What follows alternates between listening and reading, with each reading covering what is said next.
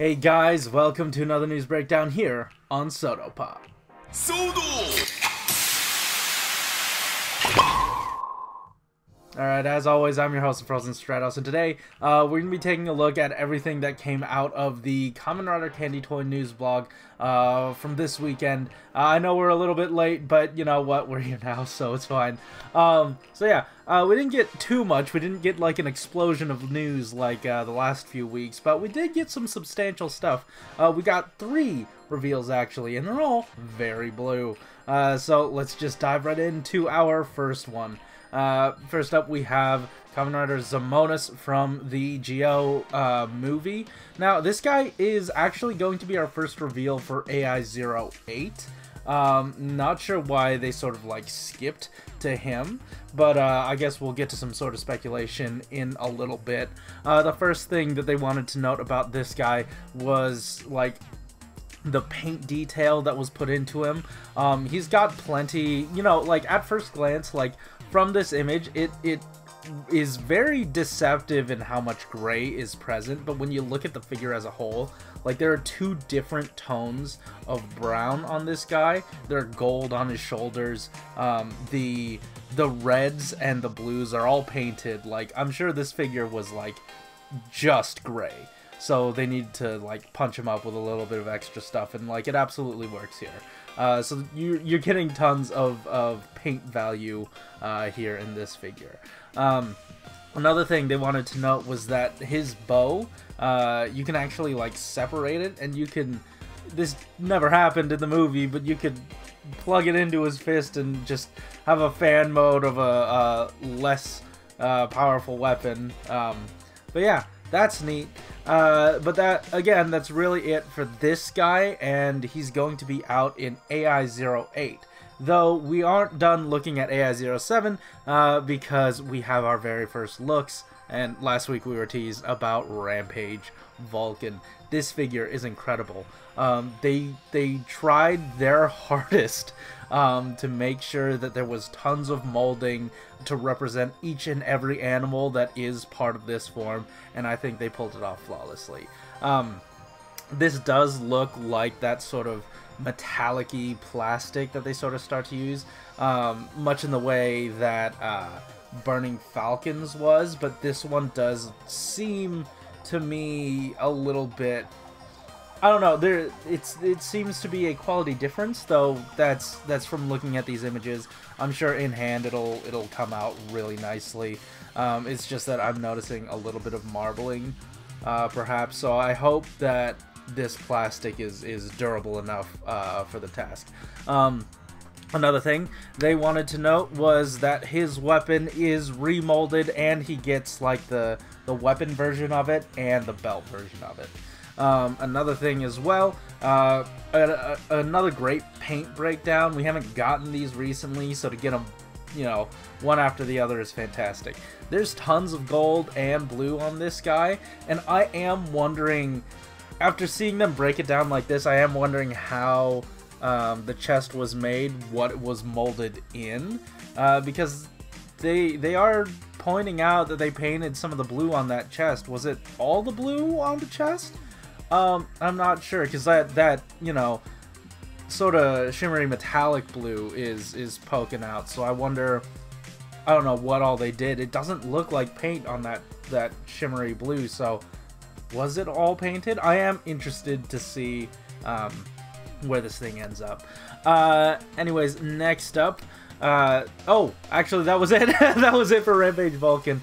Uh, I love it. It looks great. Uh, but this is our wave layout uh, for AI07. It's not our typical one, uh, and I was speculating with Josh and Malunis from uh, the SO-DO POP podcast, and um, we're pretty sure that this isn't all we're getting for AI07. Like, this isn't the be-all, end-all. Um, and it was very strange that they didn't give us, like, the full wave layout like they usually do. Uh, so that is, excuse me, that is rather suspect. Um, and I am you know, I'm looking forward to getting that full layout. Anyway, that's it for mainline stuff. Let's head on over to Chronicle, where we are taking a look at this other very blue boy. Uh, this is SO-DO Chronicle Kuuga Dragon form, uh, and he's looking fantastic. And I, I might wager that he is slightly better than Kuuga. Um, in a few meaningful ways. Uh, let's take a look at this breakdown, and we get to see, you know, the head.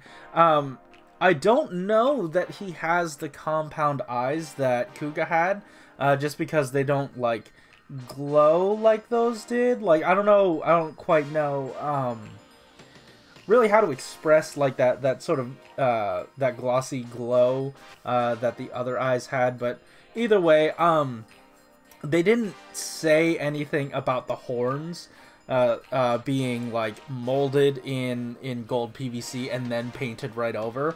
But I assume that's the case here. Uh, but you know, if it's if you get it in hand and it's not PVC, then oops, my bad. Cause like they didn't they didn't specifically note it, so I'm I'm not sure how that works. I just assume that since since they changed the horns and they look the same here, like change them from what they normally do uh, to what they're doing here. I assume it's a similar situation just to comply with toy safety standards. Um, another thing to really, really appreciate, and this is where I think um, it beats out the other Kuuga figure, uh, is that they're using two tones of paint here on the chest. Now it is front to back, um, and I went on this whole thing about the bottom part of Kuuga's chest having that different color value, and they replicated it here as well without stickers. So they painted it in two different blues. And I think, correct me if I'm wrong, I think that bottom lip of the chest uh, has that different, like, has the lighter blue as well. So this is, this is really well done. I very much appreciate the look of this guy. Um, and then, uh, oh, another thing to note is that they, they said, um, if you take a look at episode 6 of Kamen Rider Kuuga, you'll notice that the knee pads and the, the blue gems uh, around his ankles, um, one's shinier than the other, and the ankles are shinier than the other, so they made sure to do their best to replicate that in the stickers. That is some dedication that I absolutely appreciate. This is some good stuff. Um, another thing is that he comes with the rod. We've said this before in uh, the the pre-transformed state and the transformed state of the weapon, uh, and he holds them pretty well. And as you can see here, he has uh, the the holy hands that we got from rod form. And I gotta say, I'm reminded of a lot of things from Den-O Rod Form's release because if you take a closer look at this image, um, this seems to confirm uh, some of, I guess, my hesitations to this figure in that it does appear that the blue is all done in sticker and I'm not quite happy about it. If you look under his, his open palm, you can see some of that sticker like already sort of like getting damaged and that's that's the issue. It's what happened in uh, in Den-O Rod form. You put the sticker over the entire rod, and he has these grip hands to like, you know, mangle the sticker. So I am hesitant about this figure. I and like even painting it would be a um, something of a a a risk, just because some of that blue might rub off on the hands if um, that grip is too tight. Uh, so again, I'm hesitant about this, um, the the accessory, but you know what? This is a retail figure. We're getting tons of paint elsewhere, and like, could you imagine trying to paint that at a factory scale? I don't think that that's too feasible. Um, and you know, considering they prioritize the gold, that makes sense because that's a lot harder to replicate in a larger sticker.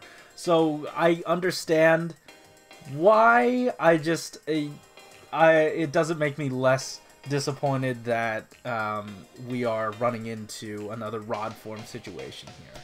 But you know what? I'm I'm still grateful uh, for this figure anyway.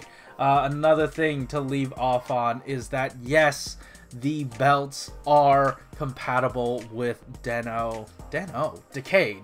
Um, so you can turn him into Decade Kuuga and Decade Kuuga Form Ride Dragon. You know, I, I probably said it wrong, but you get you catch my drift.